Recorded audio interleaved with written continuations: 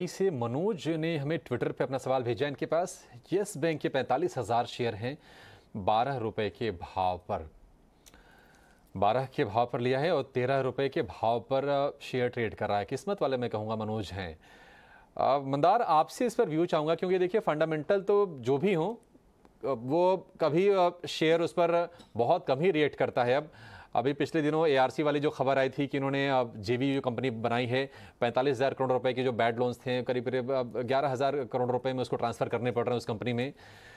अब ये बताइए कि एक बहुत बेसिक सवाल पूछूँगा मनोज, और आई थिंक कि जो तमाम जो ट्रेडर होंगे या निवेशक होंगे आप वो भी सुन रहे होंगे।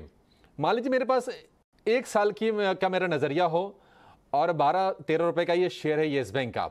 अगर मैं एक साल दूँ तो क्या ये बारह रुपए वाला पच्चीस रुपए का शेयर हो जाएगा क्या? अभिषेक जी ऐसा तो लग नहीं रहा है, कि एक साल में ये 12 का 25 होगा। लेकिन चार्ट अगर मैं देखता हूँ यानी एक साल का व्यू रखते हैं तो शॉर्ट टर्म चार्ट देखना है। तो शॉर्ट टर्म चार्ट अगर मैं देखता हूँ तो 12 से 16 तक का इसका रेंज तो दिखता है। तो हाँ पॉसिबल है कि अगर ये अच्छा परफॉर्म करता है तो सोलह रुपए तक तो ये, ये ज़रूर चलेगा। और वैसे भी अगर देखते हैं तो सोलह रुपया ब्रेक होने के बाद अगला जो तगड़ा रेजिस्टेंस इसमें है जो वो बीस इक्कीस रुपए पे है। तो इस तरीके के लेवल्स इसमें बने हुए हैं और लॉन्ग टर्म का व्यू होगा तो होल्ड करना है और होल्ड करने के लिए इसमें स्टॉप लॉस जो रहेगा वो दस रुपए का होगा।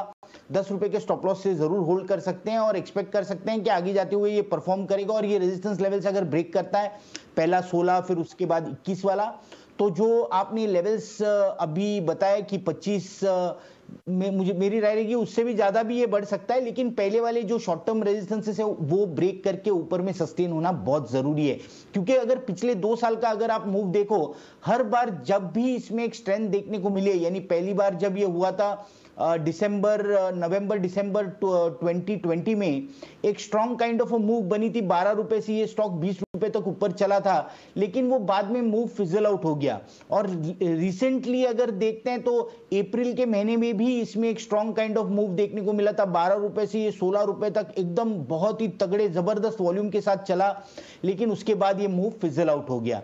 तो इस तरीके का मूव नहीं होना है। 16 और 21 का जो रेजिस्टेंस है, ये जब जब भी स्ट्रॉन्ग वॉल्यूम्स के साथ और एक सस्टेन बाइंग के साथ ब्रेक करेगा तो ऊपर में ये मल्टी भी बन सकता है। लेकिन फ़िलहाल तो ऐसे नहीं लग रहा है। 12 और 16 इस तरीके का रेंज है, दस रुपए के स्टॉप लॉस से होल्ड करना है। तो येस बैंक में आपको दस रुपये का स्टॉप लॉस मेंटेन करना है। आने वाले समय में मल्टी बैगर भी हो सकता है, पर उसके लिए इसको सोलह रुपये और फिर इक्कीस रुपये का जो स्तर है, वो वॉल्यूम के साथ एक वहाँ पे ब्रेकआउट देखने को मिला। तभी हम इस पे ऊपर के टारगेट्स की उम्मीद कर सकते हैं। पर चलिए इसी के साथ शो को यहीं पे समाप्त करने का